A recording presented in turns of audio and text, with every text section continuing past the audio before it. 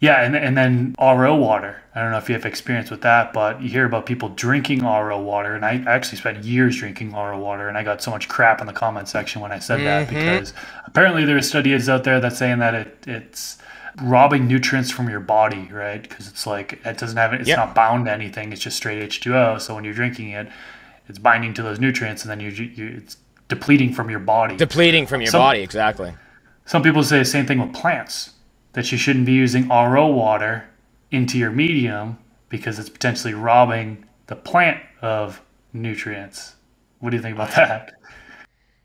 anyone who watches me knows me and my eh, me and RO is a little bit of a touchy subject because I truly believe there's other methods before getting an RO machine. I think the RO machines are the la- or RO filters are the last thing we need, and the only time you pretty much need an RO filter right away is when you're maybe making concentrates. But in growing, there's so many other things that we can use to remove a lot of these things uh, that RO water they think is the number one thing that we all need. Like people go out and get RO machines because they don't want calcium spots from the humidifiers anymore.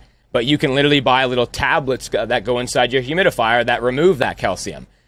And it's just called a, a demineralizer, I think they're called. Um, you can buy those, so you don't really need to put RO inside your humidifier. You can buy those; they're a lot cheaper. RO water wastes more water, and, mo- and most of the time, it wastes more water than usable water. So in places where water is very limited, or or or water is very valuable, which it really is, you're you're draining, you're throwing it all down the drain. So I think there's a lot of options out there that we should be looking at before we look at RO.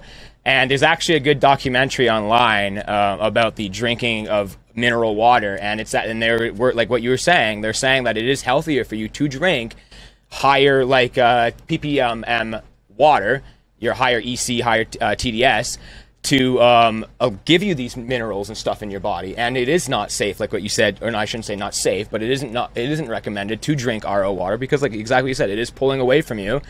And I've said that with growing before. I've, I've said that that I think if you are using RO water to to water seedlings or for your veg or to do this and that, most tap water is all right unless like yeah, okay, you're in a well or you're in a place where the tap water is not even safe to drink.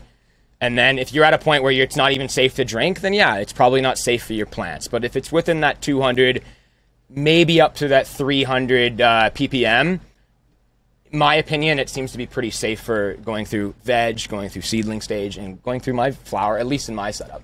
So I wasn't aware of the tablets that you mentioned. I'll have to look those up. Uh, that that's pretty cool. I didn't even realize they had those. So I do Yeah. run RO. Uh, Okay. cringe for you, probably. Hey, hey, it's not But, it's not uh, cringe if you reuse the wastewater. Hook it up to your toilet, put it inside a reservoir, and maybe use it outside or something, right?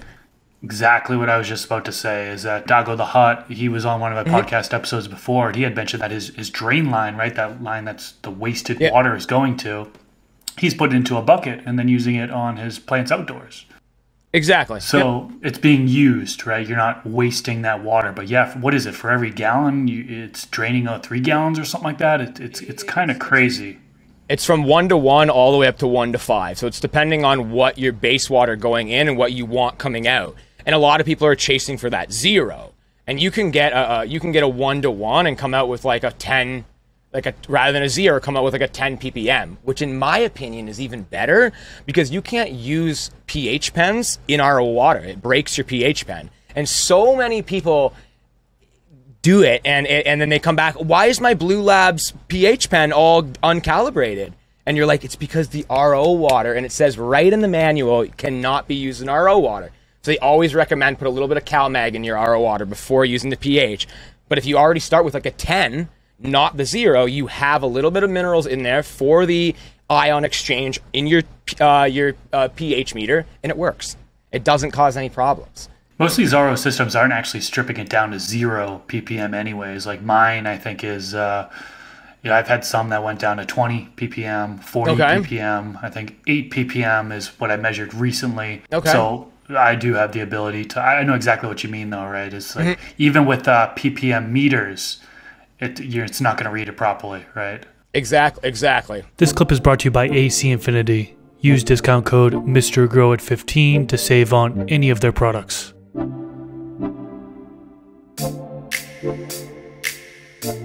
Thank